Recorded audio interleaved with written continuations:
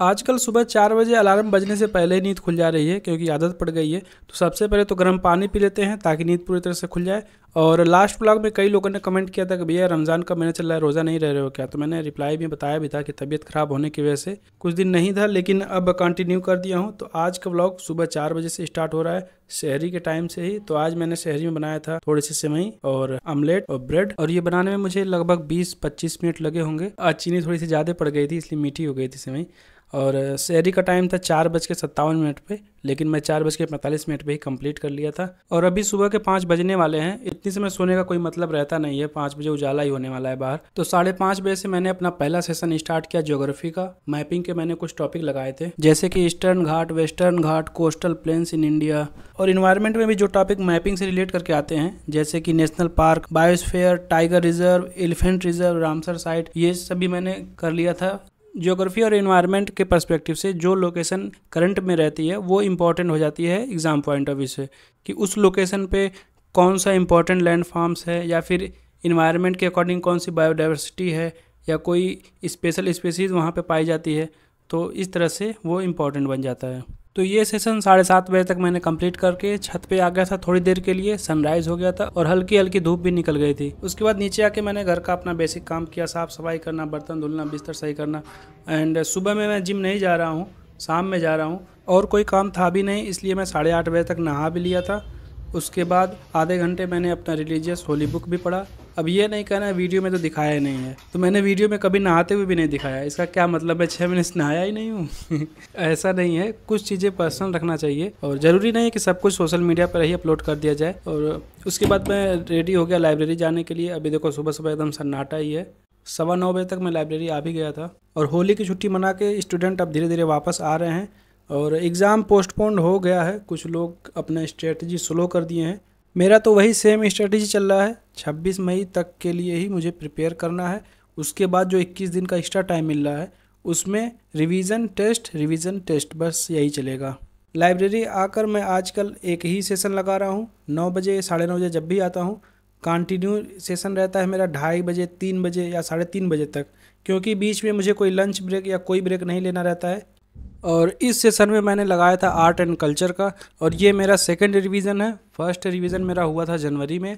उस टाइम पे मैंने पाँच दिन में कंप्लीट किया था, और इस बार ही मेरा टारगेट था कि तीन दिन में कंप्लीट करना है, लेकिन ये हो जाएगा दो ही दिन में, क्योंकि प्रीवियस ईयर क्वेश्चन अगर देखें, उसके ट्रेंड के अकॉर्डिंग बहुत से टॉपिक ऐसे हैं जो इंपॉर्टेंट नहीं है। आज जो टॉपिक मैंने चूज़ किया था, वो था इंडियन पेंटिंग फोक डांस पे भी कभी कभी क्वेश्चन बन जाता है, और मैंने बुद्धिज़्म जैनिज़्म वाले टॉपिक भी कंप्लीट कर लिया था। तो ये तीन चार टॉपिक मैंने आज कंप्लीट कर लिया था। सो so गाइज़ आप सबके साथ एक छोटी सी इन्फॉर्मेशन शेयर करनी है रिगार्डिंग प्रेप आईएएस ऐप ये प्ले स्टोर और ऐप स्टोर दोनों पर अवेलेबल है। इसमें सभी गवर्नमेंट एग्ज़ाम जैसे कि state exam state PCS teaching police UPSC defence railways SSC banking के मॉक टेस्ट हिंदी और इंग्लिश दोनों लैंग्वेज में अवेलेबल है। इसमें आपको सभी एग्ज़ाम के लिए लाइव टेस्ट भी मिल जाएँगे। कुछ टेस्ट फ्री में भी अवेलेबल है। और अगर आप एनुअल सब्सक्रिप्शन लेना चाहते हैं तो मेरा coupon code J A V E five six use कीजिए। आपको ओनली वन नाइनटी नाइन में मिल जाएगा। And you know UPSC preparation में मेंटर्स का बहुत इंपॉर्टेंट रोल होता है। सो प्रेप आई प्रोवाइड करते हैं year long one to one mentorship programme for two thousand twenty five for integrated preparation for prelims and mains by mentors जो UPSC interview में appear हुए हैं। इस मेंटरशिप प्रोग्राम में बहुत से फीचर्स हैं, जैसे कि detailed video calls offline session live test test series answer writing analysis and many more so if you are looking for mentor description check कर लेना, वहाँ पे लिंक दिया हुआ है। आर्ट एंड कल्चर में इंपॉर्टेंट टॉपिक की बात करें तो स्कल्पचर आर्किटेक्चर और पोट्री इस पर भी क्वेश्चन बनते बनते हैं। और 2022 में तो क्वेश्चन बन गया था मेडिवल इंडिया पीरियड में फनम वर्ड से।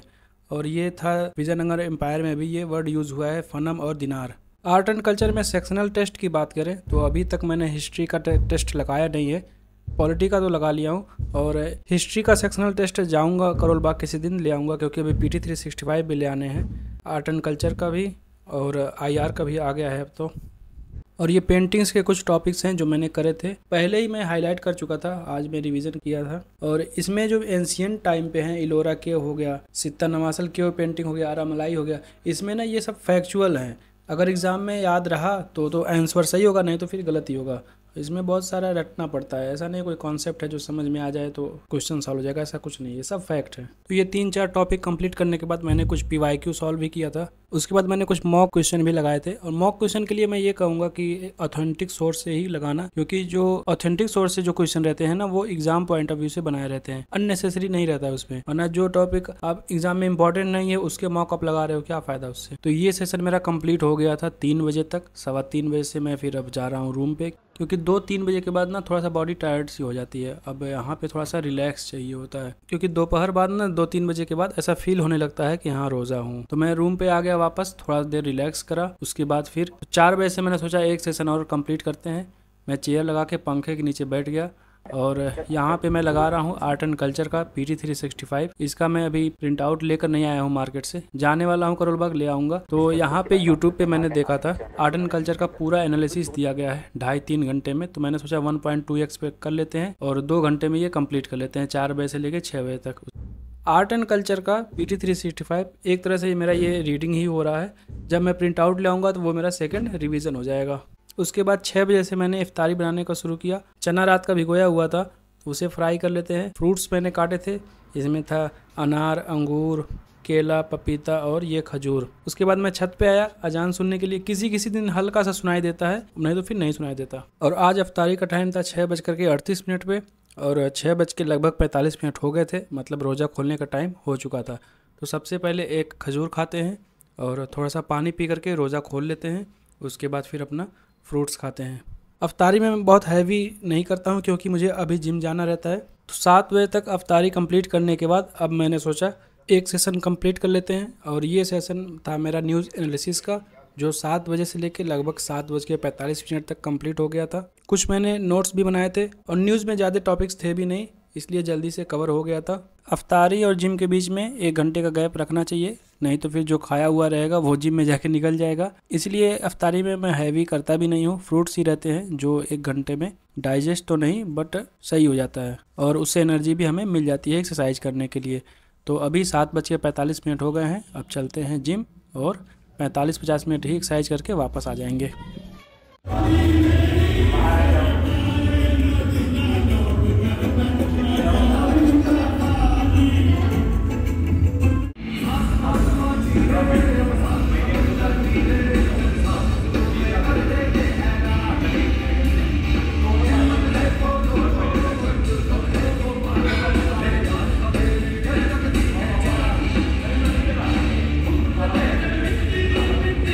साढ़े आठ बजे तक एक्सरसाइज कंप्लीट हो गई थी। अब चलते हैं वापस रूम पे। रास्ते से ही डिनर के लिए सामान ले लेते हैं। चिकन लेग पीस दो लिया था और रोटी सिंपल दाल लिया था।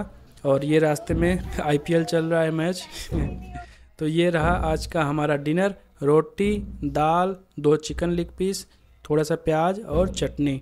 जिम से आने के बाद वापस, जो डिनर में मैं एक प्रोटीन सोर्स रखता ही रखता हूँ आजकल, चाहे चिकन हो गया, मटर पनीर हो गया, या फिर अंडे हो गए। इससे थोड़ा सा ना जिम के बाद जो हमारी बॉडी टायर्ड हो जाती है, वो रिलैक्स इससे मिलता है प्रोटीन सोर्स से। तो डिनर कंप्लीट मैं कर लिया था लगभग नौ बजे तक। उसके बाद मैंने लास्ट सेशन अपना लगाया था सी सेट का। इसमें मैंने आर सी के आठ, नौ पैसेज सॉल्व किए थे, क्योंकि कल सी सेट का मेरा दो सेशन लगा था। तो आर सी रह गया था, वो आज मैंने कंप्लीट कर लिया है। तो बस आज का व्लॉग यहीं पे करते हैं, ख़त्म। आई होप अच्छा लगा हो। लाइक सब्सक्राइब मन हो तो कर देना। बाकी सब लोग अच्छे से पढ़ाई लिखाई करो, सेहत का ध्यान रखो। फिर मिलेंगे अगले ब्लॉग में। Bye bye